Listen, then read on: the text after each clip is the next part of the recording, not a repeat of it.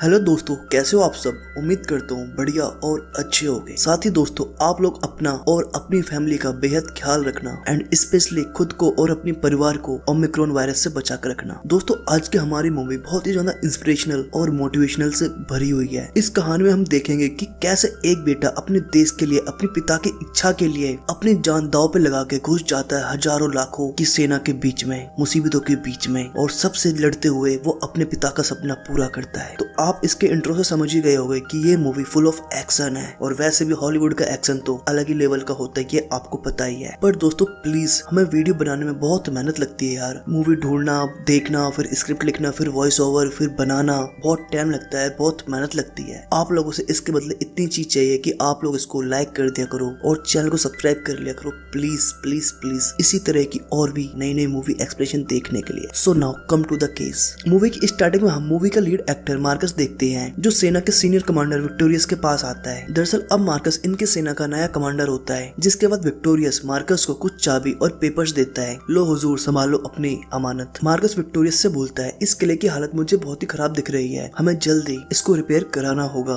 पर उसी रात जब मार्कस सो रहा होता है तो उसे बाहर से किसी चीज़ की आवाज़ आती है, जिसके लिए वो विक्टोरियस के पास जाता है और बोलता है, ये बाहर से आवाज़ कैसी आ रही है? तो विक्टोरियस बोलता है, मुझे लग रहा है, ये किसी जानवर की आवाज़ है। तो विक्टोरियस मार्कस से बोलता है क्या मैं सेना को तैयार करूँ इस जानवर से लड़ने के लिए? पर मार्कस बोलता है, मुझे ये कोई जानवर नहीं लग रहा है तो तुम इसलिए सेना को तैयार करो। अब ये सभी लोग अपनी फौज के साथ अपनी किले के पास जाते हैं, जहाँ इन्हें कोई नहीं दिखाई देता। पर मार्कस के मुड़ते ही पीछे से कुछ लोग इन पे हमला कर देते हैं, पर इनकी फौज और ये सभी लोग मिलकर उनको मार देते हैं और कुछ लोगों की टुकड़ी को किले के आसपास पेट्रोलिंग के लिए भेजते हैं। फिर अगले सुबह मार्कस विक्टोरियस से पूछता है, वो रात वाली पेट्रोलिंग टीम वापस आई या नहीं? तो विक्टोरियस बोलता है, उनके बारे में कुछ पता ही नहीं चला, जिसके बाद हम देखते हैं कि इनके किले के बाहर एक बहुत बड़ी आदिवासियों की सेना आती है और ये आदिवासी वही लोग होते हैं जिनके लोगों को मार्कस और उनकी सेना ने रात को मारा था। पर अब इनके पास मार्कस के भेजे हुए पेट्रोलिंग वाली पूरी टीम बंदी बनी हुई थी और इन आदिवासियों का सरदार मार्कस से बोलता है, तुम लोग वही हो जिन्होंने हमारी ज़मीन छीनी, हमारे बेटों को मारा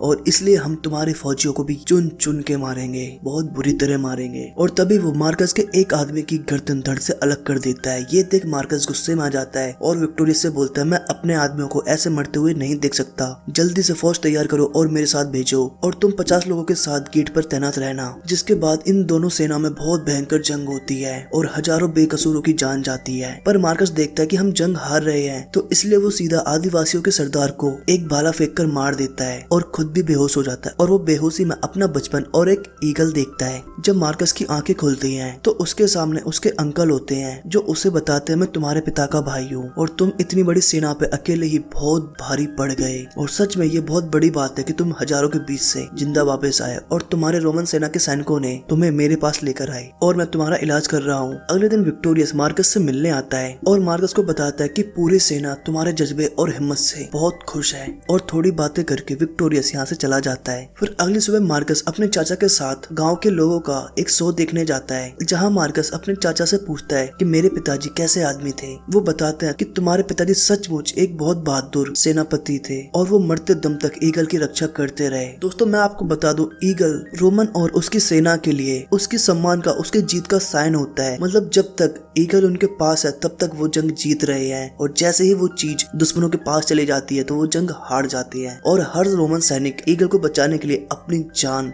झार कर देता है। पर तभी हम देखते हैं कि इस मैदान में एक ब्रिटेन गुलाम को लाया जाता है, जिसे हथियार देके एक कॉम्पिटिटर से लड़वाया जाता है, पर वो उसके सामने अपने हथियार डाल देता है, जिसे देख सभी रोमन लोग बोलते हैं, मारो इसे मारो इसे, मार दो, ये गुलाम है, ये ब्रिटेन का ऐसे मार दो। पर इन सब के बीच, मार्कस बोलता है, नहीं, इसे छोड़ दो, इसे जानो दो। और लोगों से भी बोलता है, तुम सब क्या कर रहे हो? मेरा साथ दो, इसे बचाओ। तो सभी लोग मार्कस की बात मान लेते हैं और इस गुलाम को बचा लिया जाता है और मार्कस इस गुलाम को अपने साथ ले जाता है। और इस गुलाम का नाम इसका होता है, जो मार्कस से बोलता है, जनाब, ये मेरे डैड का खंजर है, ये आप अपने पास रखो और आज से मैं आपका गुलाम हूँ, आपने मेरी जान बचाई है। फिर अगले दिन डॉक्टर मार्कस के पैर के टाके काटने आता है तो डॉक्टर मार्कस के चाचा को बोलता है कि, मार्कस को टाइट से पकड़ लो। तो अंकल बोलता है, नहीं नहीं, मैं बिल्कुल नहीं पकड़ सकता, क्योंकि अब मुझमें इतनी दम भी नहीं है और मैं अपनों का खून तो बिल्कुल नहीं देख सकता। तो इसलिए उसे इसका ही पकड़ता है। फिर रात को मार्कस के चाचा मार्कस को अपने दोस्तों से मिलवाते हैं और डिनर करते हैं, जहाँ ये सभी लोग रोमन राज की बातें कर रहे होते हैं, जहाँ एक आदमी इन सबको बताता है कि नॉर्थ की दीवार की उस साइड एक कबीले के पास ईगल देखा गया है और उस कबीले के लोग ईगल को अपने मंदिर में रख के उसकी पूजा करते हैं। तो मार्कस बोलता है कि अगर ये बात सच्ची है तो हम में से किसी रोमन को अपना ईगल वहाँ से निकाल के लाना होगा। पर एक आदमी बोलता है, नहीं नहीं, ये पॉसिबल नहीं है, क्योंकि जब दीवार की उस साइड ब्रिटेन के सामने रोमन की नाइन्थ लीजन आर्मी नहीं टिक पाई तो अब हम लोग क्या टिकेंगे? और वैसे भी सेनापतियों द्वारा बताया गया है की जो लोग भी दीवार की उस साइड गए हैं, वो आज तक वापस नहीं आए। अब ये नेगेटिव बातें सुन के मार्कस वहाँ से चला जाता है। अब पीछे से उसके चाचा आते हैं और बोलते हैं, बेटे, किसी की बातें सुनकर तुम जज्बाती मत बनो और वैसे भी वो लोग सच बोल रहे हैं कि दीवार की उस साइड आज तक जो भी गया है, वो आज तक वापस नहीं आया। बात को सुनो, समझो।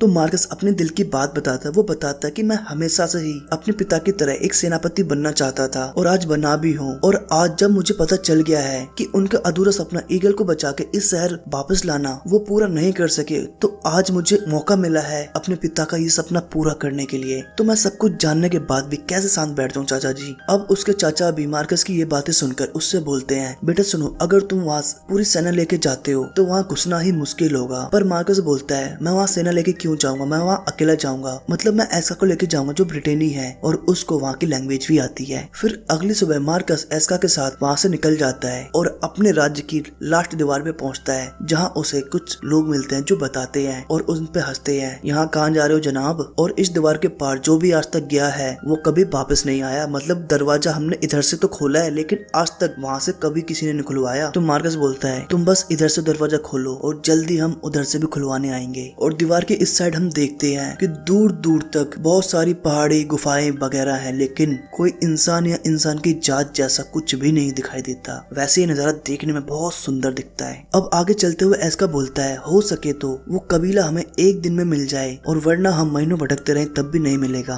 अब रात को ये दोनों लोग एक जगह आराम करते हैं, जहाँ मार्कस एस्का को बताता है। पता नहीं क्यों मुझे ऐसा लगता है कि मेरे पिताजी अभी भी ज़िंदा हैं, वो आसपास ही कहीं हैं। तो एस्का बोलता है, क्या तुम यहाँ अपने पिताजी को ढूँढने आए हो? मार्कस, नहीं नहीं, मैं उनका अधूरा सपना पूरा करने आया हूँ मतलब यहाँ से ईगल ले जाने आया हूँ। फिर अगली सुबह ये लोग आगे बढ़ते हैं, पर आगे बढ़ने से पहले एस्का मार्कस को बोलता है कि आगे जो भी लोग मिले, उनसे मुझे बात करने देना, क्योंकि अगर उनको पता चल गया कि तुम रोमन हो तो वो तुम्हारे साथ साथ मुझे भी मार देंगे। अब काफ़ी दूर जाने के बाद ये लोग एक जगह बैठ के खाना खा रहे थे, कि तभी इन पे कुछ लोग हमला कर देते हैं, पर ये दोनों लोग उनसे बहुत बहादुरी से लड़ते हैं और उन्हें मार गिराते हैं। लेकिन लास्ट में एक छोटा बच्चा एस्का पे अटैक करता है। लेकिन एस्का उसे भी दबोच बस मारने वाला ही होता है। लेकिन वो उसकी शकल देख के कि ये तो बस बच्चा है, रुक जाता है और उसे छोड़ देता है। पर जैसे ही वो उठ के भागने लगता है तो मार्कस उसे एक खंजर फेंक के मार देता है और एस्का से बोलता है, अगली बार अपना दुश्मन छोटा हो या बड़ा, अब आगे जाने पर मार्कस एक आदमी को दबोचता है और एस्का से बोलता है, पूछो इससे कि कई सालों पहले जो रोमन सैनिक आए थे, वो किस साइड गए थे? तो वो आदमी बताता है कि वो इस घने जंगल में नॉर्थ की साइड गए थे, लेकिन आज तक वापस नहीं आए। अब ये लोग भी उन पहाड़ी और घने जंगलों के बीच नॉर्थ साइड में जाते हैं, लेकिन तभी इन पे एक अकेला आदमी हमला कर देता है, और जैसे ही लोग उसे मारने वाले होते हैं तो एस्का बताता है, रुको मार्कस, ये तो अपना ही फौजी है। जिसके बाद इनके पूछने पे वो फौजी अपना नाम ल्यूकस बताता है, और इससे बातचीत के दौरान मार्कस को पता चलता है कि ये उसी नाइन्थ लीजन आर्मी का सैनिक है, जिसे मार्कस के पिता लीड कर रहे थे। जिसके बाद ये आदमी रोमन सेना का बहादुरी का किस्सा सुनाता है, बताता है कि हमारी आँखों के सामने ब्रिटेन सैनिकों ने हमारे फौजियों को बहुत बुरी बुरी तरह की यातनाएँ देकर मारा। मतलब पूरे जंगल में रोमन सैनिकों की चीखों की आवाज़ गूंज रही थी और हम लोगों ने भी अपनी पूरी हिम्मत बहादुरी के साथ लड़ते रहे, जिसके बाद ल्यूकस मार्कस को रोमन सैनिकों के कंकाल दिखाता है, उनकी ड्रेस दिखाता और बताता है, ये बड़ा पत्थर देख रहे हो? इस पे सीनियर ऑफिसर के सर पकड़ पकड़ के मारा जाता था और ज़िंदा लोगों के दिल और मुँह में तलवार घुसा के आर पार कर दी जाती थी। अब मार्कस लूसी से बोलता है कि तुमने मेरे पापा को लास्ट बार कब देखा था? तो लूसी बताता, मैंने उनको लास्ट टाइम तब देखा था, जब उन्हें पूरी तरह से दुश्मनों ने घेर लिया था और उस समय मैं अकेला बचा था और इसलिए उनको नहीं बचा पाया और मुझे यहाँ से भागना पड़ा। तो मार्कस लूसी से पूछता है कि वो ईगल जिसके लिए तुम सभी ने अपने अपने बलिदान दिए, वो अब किसके पास है? तो लूसी बोलता है ये सब कुछ इसका को पता है, जो तुम्हारे साथ ही आया है। अब ये सुन के मार्कस एस्का पे काफ़ी गुस्सा करता है और बोलता है जब तुम्हें सब कुछ पता था तो तुमने क्यों हमें इतने दिनों तक जंगलों में भटकाया? और उन लोगों ने मेरे पिता को इतनी बेरहमी से मारा और तुम्हें कुछ फ़र्क ही नहीं पड़ा इस चीज़ से। तो इसका बोलता है, वो लोग मेरे लोगों को मेरे पिता को मारने आए थे। अब ऐसा की जवान खुलते देख मार्कस को गुस्सा आता है और बोलता है, तुम मेरे गुलाम हो, भूल गए क्या? तो ऐसा बोलता है, मैं नहीं भूला और तुम्हें पता है, अगर मैं तुम्हारे साथ नहीं होता, तुम अभी तक रास्ते में कहीं भी मारे जा चुके होते। अब ये सुन मार्कस को और गुस्सा आता है और ये दोनों लोग आपस में ही लड़ने लगते हैं। पर तभी वहाँ एक कबीले का अजीब सा सा आदमी आता है जो इनसे पूछता है कि तुम लोग कौन हो? तो एस्का बताता है, मैं क्रोनोल का बेटा हूँ, जो ब्रिग्नेटिस लड़ाई के चीफ थे। तो वो आदमी पूछता है, ये आदमी जो तुम्हें मारना चाहता है, ये कौन है? तो एस्का यहाँ खुद को बचाने के लिए मार्कस को अपना गुलाम बता देता है, जिसके बाद ये आदमी एस्का को बोलता है तो मालिक, आप हमारे गेस्ट हो और हम तुम्हारी मेहमान नवाजी करेंगे। जिसके बाद ये लोग मार्कस को बाँध कर घसीटते हुए अपने कबीले के सरदार के पास ले जाते हैं और बताते हैं, इसका, जो की कर्नल का बेटा है, जो की ब्रिटिश सेना के चीफ थे और ये आदमी जो की रोमन है। इसलिए ये लोग मार्कस को एक गुलाम की तरह ही यहाँ ट्रीट करते हैं और उससे अपने सारे काम करवाते हैं। अब कुछ दिनों बाद ये कबीले के सभी लोग अपना एक फ़ंक्शन मना रहे होते हैं, जिसमें ये सभी लोग बहुत सारी मंदिरा पीते हैं और फ़ंक्शन के बाद गहरी नींद में सो जाते हैं। तो उसी रात एस्का मार्कस के पास आता है और बोलता है, चलो भाग, चलो यहाँ से। यही अच्छा मौका है। तो मार्कस जल्दी से उस कबीले के मंदिर में जाता है और अपना वो ईगल अपने साथ लेके घोड़े के पास आता है और ये लोग वहाँ से निकलने वाले ही होते हैं की तभी पीछे से आवाज़ आती है इसका और ये आवाज़ सुन के वो लोग बहुत डर जाते हैं। पर पीछे एक प्यारा सा बच्चा होता है, जो इसका से बोलता है, इसका मुझे भी अपने साथ ले चलो। तो इसका बोलता नहीं बेटे, ये तुम्हारा परिवार है, तुम यहीं रहो। तो वो बोलता है नहीं, अगर ये बात मेरे पिताजी को पता चल गई कि मैंने तुम्हें जाते हुए देख लिया तो और उन्हें नहीं बताया तो वो मुझे जान से मार देंगे। तो इसका बोलते नहीं बेटे, वो तुम्हारे साथ ऐसा नहीं करेंगे, तुम्हारे पिताजी हैं। और ये कहकर ये दोनों यहाँ से चले जाते हैं। और अगली सुबह जब इस कबीले के लोगों को पता चलता है कि वो दोनों लोग यहाँ से ईगल लेके भाग चुके हैं तो वो लोग इनका पीछे करना शुरू कर देते हैं। अब दो दिन बाद, काफ़ी दूर आ जाने के बाद एस्का का घोड़ा काफ़ी थक चुका था और वो गिर जाता है, जिस वजह से ये दोनों लोग मार्कस के घोड़े से ही आगे बढ़ते हैं। पर एक जगह जाके मार्कस भी पूरी तरह थक चुका था। तो इसलिए वो एस्का से बोलता है, लो, ये ईगल ले जाओ और तुम यहाँ से चले जाओ और मुझे यही छोड़ दो क्योंकि मैं अब नहीं बच सकता। तो ऐसा बोलते नहीं, मैं तुम्हें छोड़कर नहीं जा सकता क्योंकि मैं तुम्हारा गुलाम हूँ और अगर तुम सचमुच यही चाहते हो कि मैं यहाँ से चला जाऊँ तो तुम्हें मुझे आज़ाद करना होगा। तो मार्कस एस्का को उसके पिताजी का खंजर वापस देता है, जिससे वो मार्कस की गुलामी से आज़ाद हो जाता है। लेकिन फिर भी वो ईगल लेकर नहीं जाता और बोलता है, तुम मेरा इंतज़ार करना, मैं जल्दी वापस आऊँगा। फिर अगले दिन हम देखते हैं कि एस्का मार्कस के पास वापस आया है। उसकी पिताजी की सेना में बचे हुए सभी सैनिकों को लेकर के।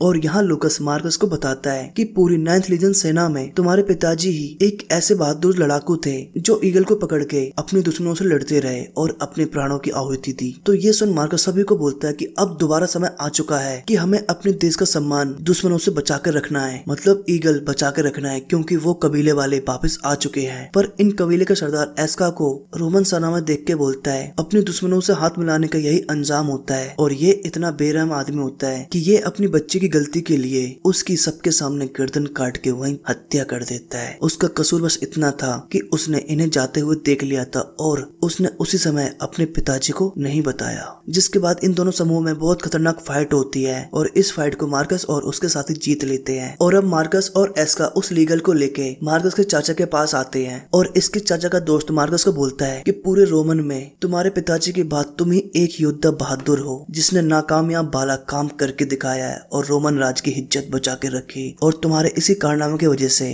तुम्हारा नाम इतिहास में रचा जाएगा और इस तरह इस मूवी का एंड हो जाता है। So thanks for watching